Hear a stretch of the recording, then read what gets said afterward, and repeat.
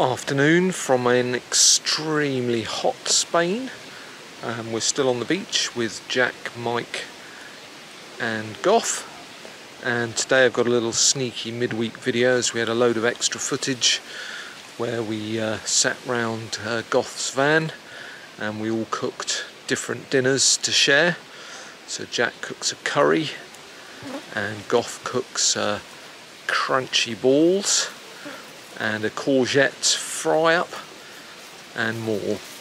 So just a sneaky extra midweek video of cooking and sharing food when you live in a van. We are those weirdos, a family of seven. We've been living, working and travelling for two years in our self-converted Sprinter van. I have a chameleon.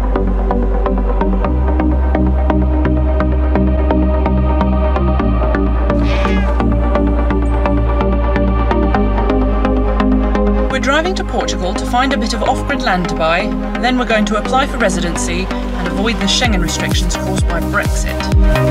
We'll be filming every bit of the process so you can come along with us and be part of our journey.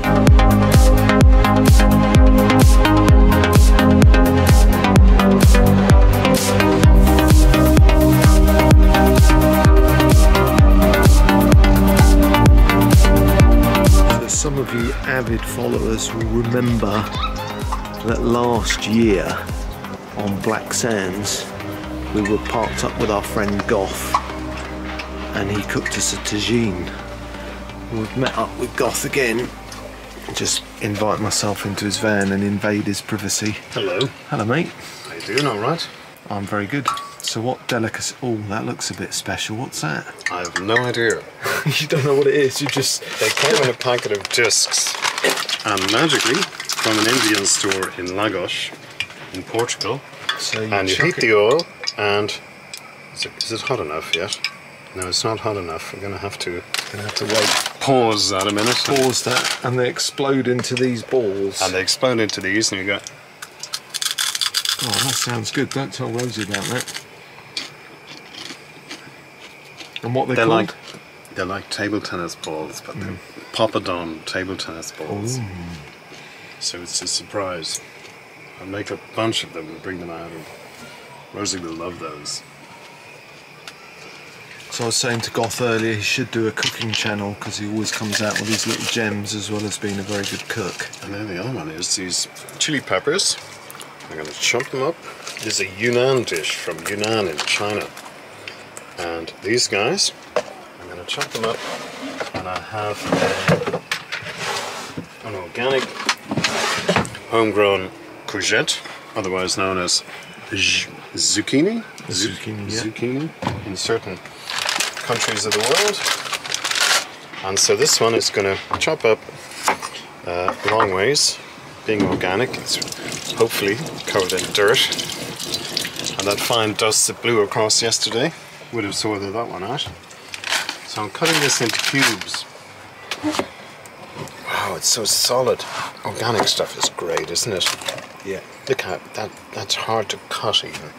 So I'm going to cut that into into small pieces, and then I'm going to I'm, I'm going to stir fry it later on. But for now, we can come back to that. Right now, I'm just going to cut it into small chunks like this.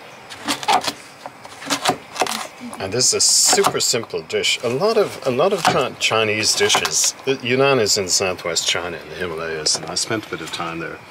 And a lot of their dishes, you know, I find myself having to hold back from putting too many things into a dish, whereas, you know, a lot of a lot of food just focuses on one or two nice ingredients, and you have maybe six or eight or ten dishes at the table, but each one is really really simple and this is one of them. I'll show so you. What are you going to do with the courgette or the zucchini? I'm going to fry them in a wok with with with, oh, um, with the, chili with peppers that you've chopped. Yeah, yeah, yeah. These guys, I'm going to. These are super dried. I got them in Morocco last year. and you know, they've lasted me a long time. I'm simply going to chop these guys up. You can use. You don't have to go to Morocco for this and buy them in, in a souk. You can buy um, chili flakes it looks like something you put in your shopping trolley or something, doesn't it? In, Or, in or a? Catholic church. Oh yeah, yeah, yeah. Look at this. Wow, look. I've never actually made these before, you see. Whoa, they're great, aren't they? It's they're fun, fun food. Rosie's going to want to try that. Yep. Well, let's sample it out on on the uh, on the the victim, uh, the volunteer. Yeah. Put it in there. Rose, do you want to be the victim? I mean, volunteer. Uh, Come here. oh, Look at this. Go taste something. Come here. sure. It will be hot. If it's spicy, then I'll be a naughty. No, it won't be hot. It's a it's a it's a Oh, what is that? table tennis, a ping pong ball, What is this? It is very hot. deep fried ping. So you have to try it and tell us what you think it is, because we don't know. Yes, but it's very hot. I saw them in the Indian shop and I said, what do these do? They would be, everybody needs to do ping pong balls. Is that good? I don't know what it is, but it tastes nice. Well, think of a pump, poppadom. Think of like a a- So if you, egg. if you peer through here, up that way, you can watch Goff cook. See what they he'll show you what they're like when they're in the bag, which is Oh, here, yeah, yeah. Oh, that flat disc. Had a flat disc. and then they explode into these ping pong balls of poppadom delights. This is visually amazing food, isn't it? It is. I've no idea what's in there. I know that it's vegan. These are great. I like these. We're going to eat loads of these tonight. Don't be shy. Chuck your balls in that pan. Figuratively speaking, of course. Oh, there we go. Look at this. Wow. It's good fun cooking things for the first time, It isn't is. it? Great. They are. I like these. Kids kids like these. Got a good reaction from Rosie there. Yeah. Oh, what's happening? Oh, too many. Oh, they're getting jammed in the pan. Oh my god. They're escaping. They're trying to get out. Okay. Ah. One, two, three. Ah, That one. Well, they get even bigger if you overleave them. Look at the size of that one. Look at this, That's gosh. not a ping pong ball, is it? No, it's turning into a rugby an ball. egg ball. I like the look of these. These are fun. So you're going to eat lots of crispy balls. Well, I'm not sure. I guess. Let me one of try your one. favourites. Wait, wait, wait. Let me try one. Hang on. Here's a big one.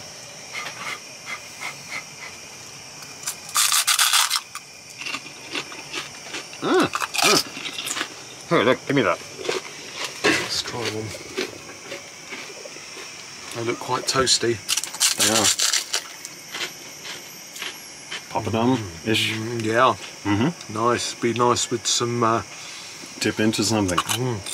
Yeah. You do more or less what you do with poppadoms. King's quality products. Yeah. Premium, no less. No less. I don't know what the non-premium ones do. Do No, they go they're, into they're very small balls. The smaller one. Excellent. Let's go and Cut. So they are ready to eat. What do you think of those? Yeah, they're good, aren't they? Jack, Yeah. do you want one one of Goff's crunchy balls? What do you reckon? Hmm. They're good, aren't they? So what are you cooking for us tonight? chickpea and potato curry Look forward with to that. green peppers and uh, chopped tomatoes, garlic, and onions. Sounds excellent. We've had it before, or a version of, and it was absolutely lovely. Here's another really, really simple dish. And it's um, courgettes. I've diced them up. And chilies. And uh, I don't have any garlics, uh, cloves left. I used the last them last night, so I've got some garlic paste here that'll do the trick. So basically, a hot, a hot wok, or a pan if you don't have a wok. Chuck these guys in. Smallish, smallish pieces, Those are pretty chunky pieces aren't they? to be called smaller. And this is a beautiful organic courgette from a friend of mine's garden. And even cutting it, it was hard to cut. You know, they're, it's just wonderful and they taste so good as well. like any properly grown organic food. So basically, this guy here, full of heat. Woks, by the way, were invented not that long ago in China. I think around 100 years ago, 150 years ago, during a famine, and they they ran out of fuel, so they started making these these really thin cooking devices that cooked on very little heat and heated up super quickly. That's the origin of the wok. And then, if you have chili flakes, I was fortunate to have some chilies, dried chilies I still have from my trip to Morocco last year. And these guys go in there. And um, I will put a tiny bit of salt. Smell of those chilies makes my nose tingle. Hmm? You know, And oh, what did I say? Garlic paste. Just put in a tiny bit of garlic paste. There. Garlic paste. There. You don't actually need the garlic paste, but I'm just putting some in just to uh, give it a tiny bit of flavour.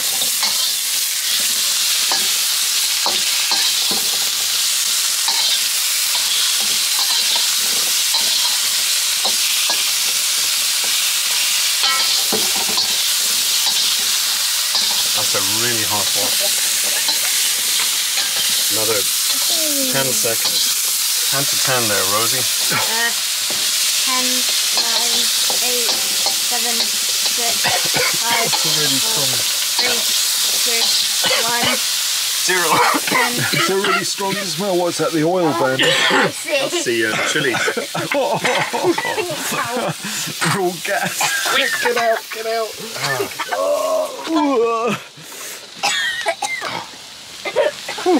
Let's put them in there, will we? What about that? That's the starter. Waiting on the main course after the starter. Here comes dinner. Here's your dinner, boys and girls. That looks good.